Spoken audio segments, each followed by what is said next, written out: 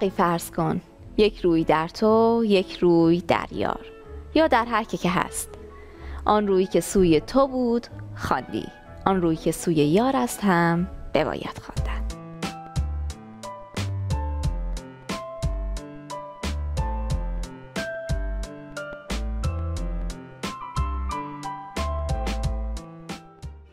تو رو دوست می‌دارم.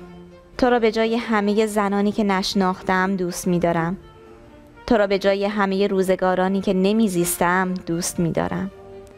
برای خاطر عطر گسترده بیکران و برای خاطر عطر نان گرم. برای خاطر برفی که آب می شود برای خاطر نخستین گلها. شاعر پل الوار مترجم احمد شاملو در کتاب همچون کوچه ای بی انتها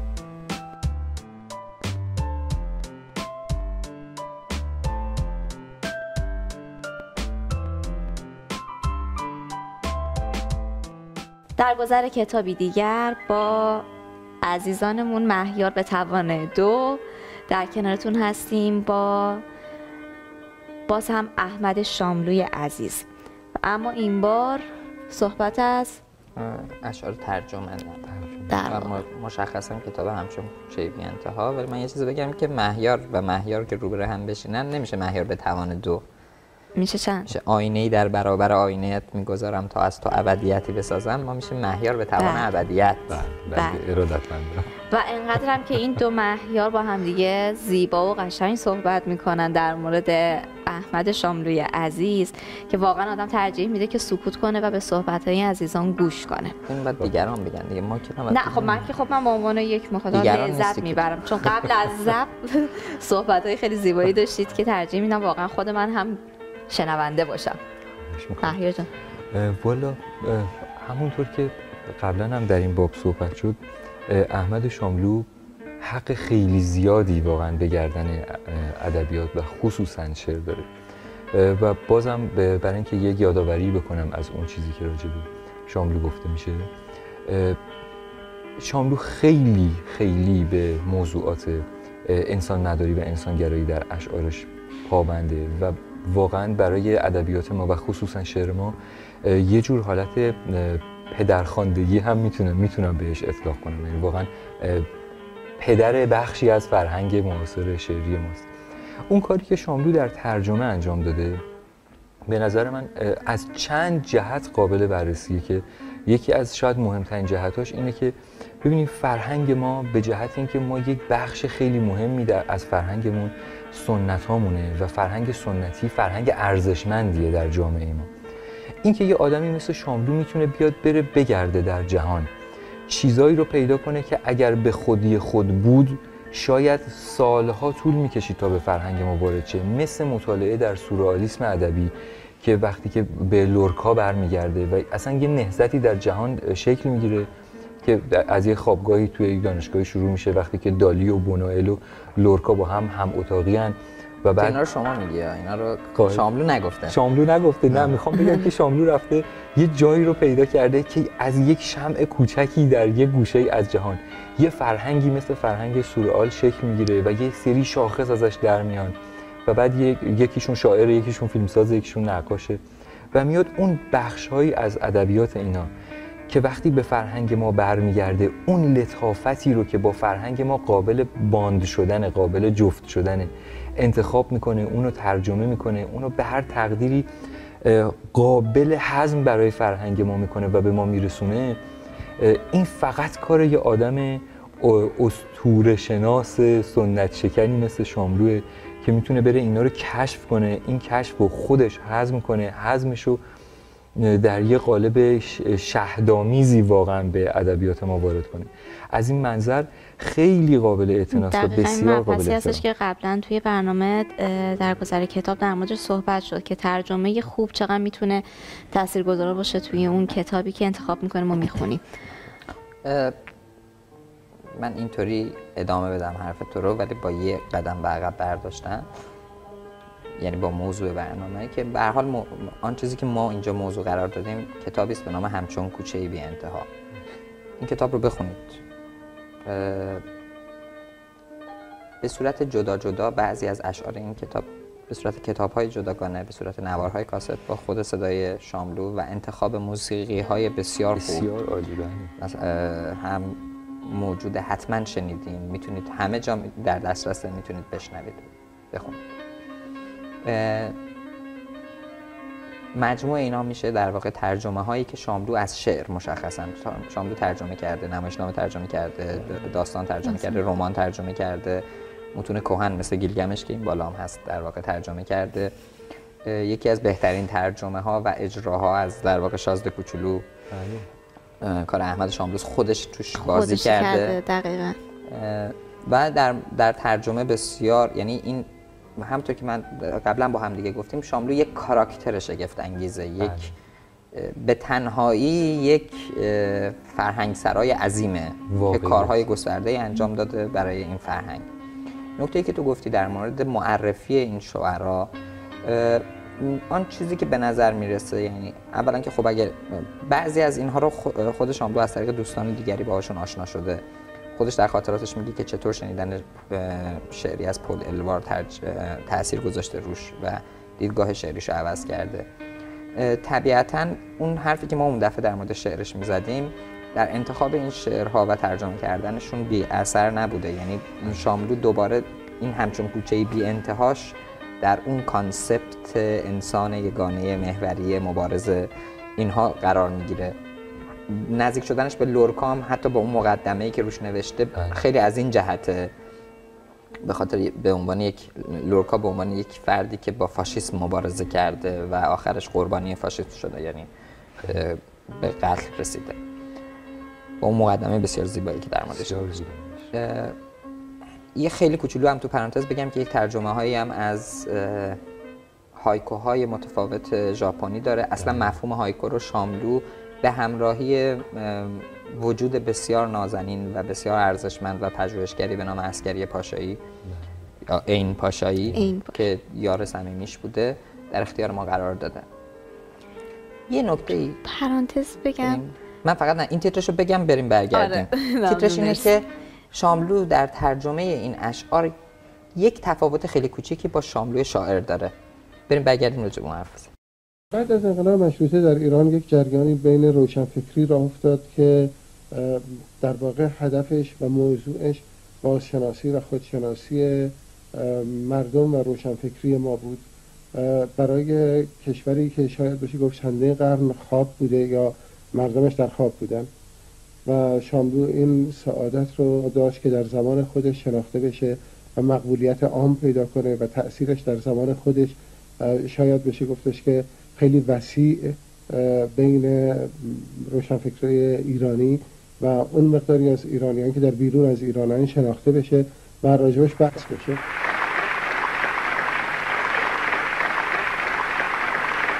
چون هدف شعر تغییر بنیادی جهان است.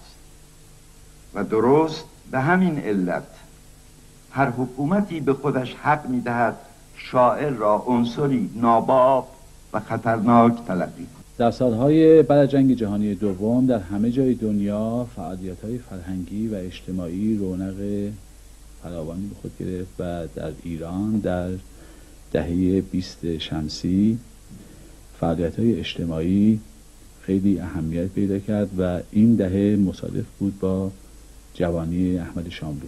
در واقع شاملو نماینده نسلی است که در دهه 20 و 30 عاشقانه و مشتاقانه خواهان ارتباط وسیع با مردم بودند. برای نخستین بار در مهر 1340 کتاب هفته منتشر کرد. کتاب هفته کتابی بود که مجله بود که به قطع کتاب در می آمد و به قیمت ارزان و در تیراژ وسیع. ابعاد دیگه هم کارش داشته. یکی از این ابعاد به نظر من معلمی شاملوس برای نسل بعد خودش.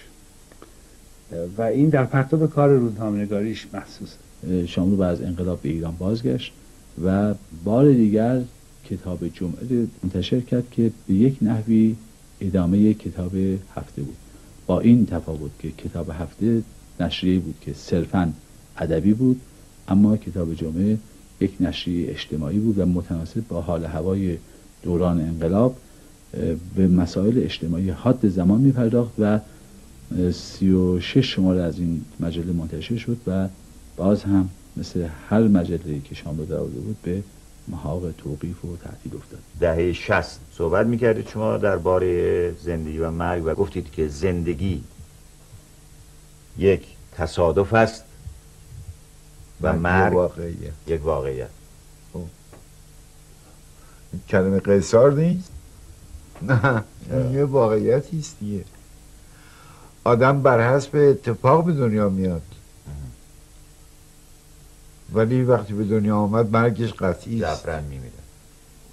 انسان هست تولد هست و مرگش هست که دیگه انسان نیست. خاطره ای هست ازش. اونهایی که الگوی زندگی ما بودن می‌دونستن چه می‌کنن. اونا به مرگ فکر نکردن فقط به زندگی فکر کردن. و چه خوبه که ما هم بتونیم واقعا به اونجا برسیم. که مرگ برامون وجود نداشته باشه. در حالی که قاطعیت وجودش بیشتر از زندگیه. عملا وجود نداشته باشه. خب برگشتیم. اون پرانتزاره. اون پرانتزه. نه پرانتزی که قبلش گفته بودم. آره. من من می‌خوام این چیز دقت کنیم. اول به خیلی از این شاعرایی که من به نظرم این شکلی انتخاب شدن یعنی با اون ایده کلانی که شاملو درش بوده همشون همخوانند. از لنگستن هیوز گرفته تا همشون انسان شعر در اونها. یعنی منظورم این که مفهوم شعر خیلی به مفهوم شعر و همخونی این مفهوم با اون ایده خودش خیلی توجه داشته در انتخاب این شعرها و با هم دیگه شاید یک کمی بشه میگم هایکوها رو یک کمی جدا فرض کرد از این مجموعه. اما یه چیزی که برای من خیلی جذابه این شکلی بگم که ما می‌تونیم یک بحث خیلی مفصلی داشته باشیم در مورد اصلا ترجمه شعر. که اصلا آیا شعر ترجمه پذیر هست یا نیست. و اون اتفاقی که داره میفته آیا ترجمه است یا نیست؟ این, این, این می‌تونه یه بحثی باشه. یعنی ما می‌تونیم وارد این بحث بشیم یا نشیم. فقط همینقدر بگم که بعدها خیلی از وقتی جامعه ترجمه ایران حرفه‌ای تر شد بزرگتر شد مشخصا در دهه انتهای دهه هفتاد شمسی خودمون و ابتدای دهه هشتاد بسیار خورده گرفتن بر ترجمه های شاملو ترجمه های شعری شاملو که اینها به جهت معنایی یعنی نسل جدید مترجمان اینها به جهت معنایی ترجمه های دقیق و درستی از شعر اصل نیستن. نیستن. این این تایتل های اینطوری ما رو به این سمت می‌بره که باز دوباره بحث وارد این بحث این بشیم که اصلا ترجمه شعر چگونه هست شدنی هست یا نیست. من فقط ترج... تجربه خودم رو میگم. تج... در چند مورد. مثلا من ترجمه های از شعر نازم حکمت خوندم.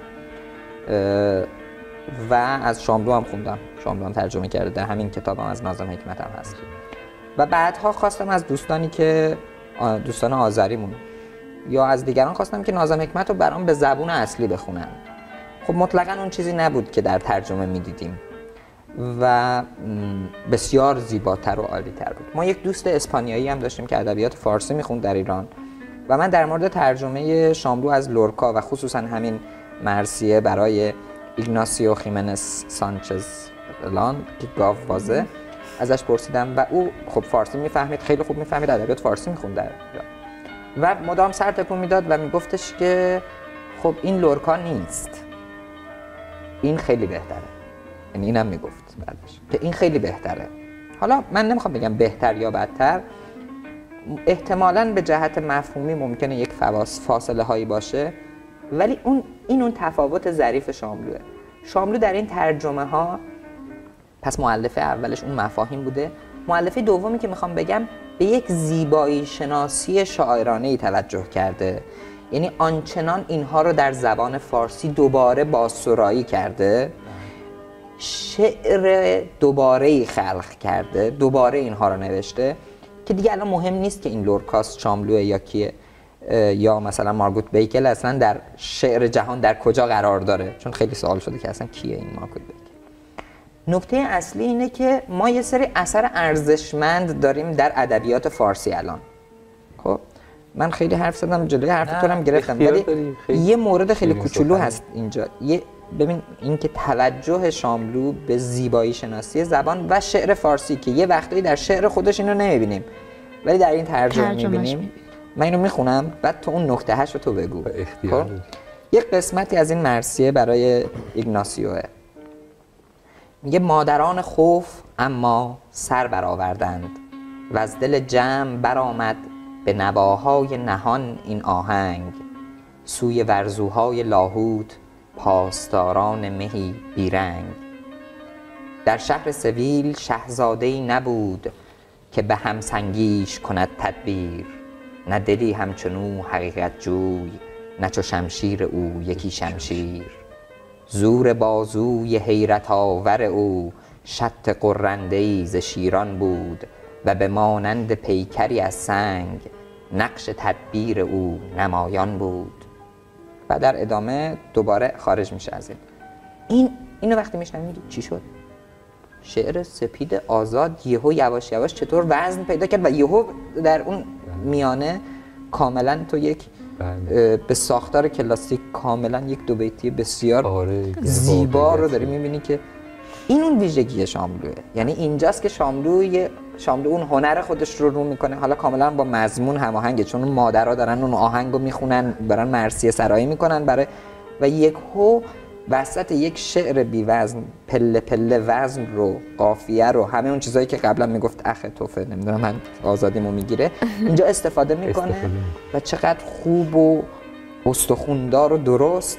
اون جهان رو خلق می‌کنه آره واقعا اگر که بخوام برگردم و به یه نکته خیلی مهم اشاره کنم و اون اینکه هم در تایید حرف تو که این ما داریم شعری رو ترجمه کسی داره شعر رو ترجمه می‌کنه که خودش شاعره و نه فقط شاعره متفکر در زمینه شاعریه.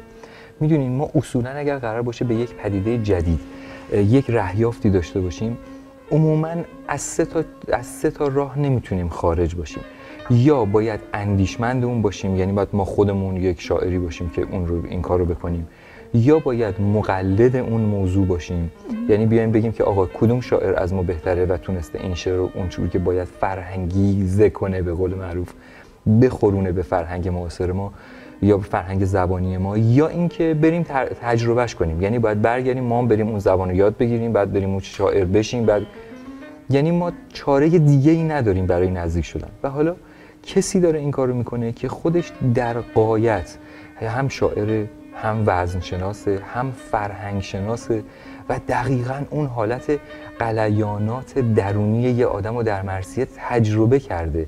وقتی داره این کارو می‌کنه اون رو یه بار انگار بلعیده از تمام فیلترهای فرهنگی و دانش خودش گذر داده و حالا داره یک محصول کاملا جدید ارائه می‌کنه.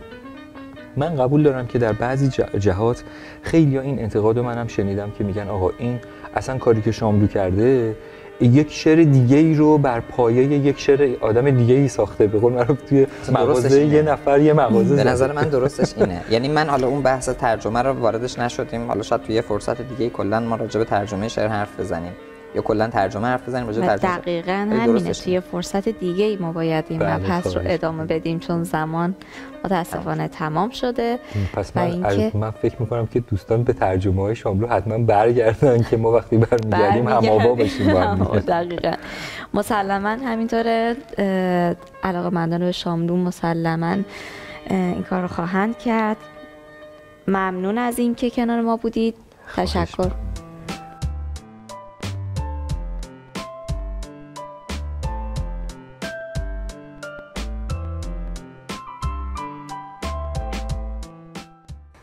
طرفداران پولوستر در جریان باشند که رمان گرافیکی شهر شیشه‌ای با ترجمه آتنا عبدی نژاد و کجوان آبهشت که امیدوارم تلفظش رو درست گفته باشم توسط نشر قنچه منتشر و راهی بازار نشر شده. این رمان یکی از کتاب‌های موفق پولوستر که خودش هم به عنوان یکی از شخصیت‌های داستان در اون حضور داره به چاپ رسیده. ویژگی این کتاب که پیش از این توسط ناشران دیگر در مجموعه سگانه نیویورک منتشر شده کمیک استریپ های اونه. تغییر هویت در زندگی شهری و چندگانگی هویت افراد مهمترین ویژگی این رمانه که با تصاویر گرافیکی ملموستر شده.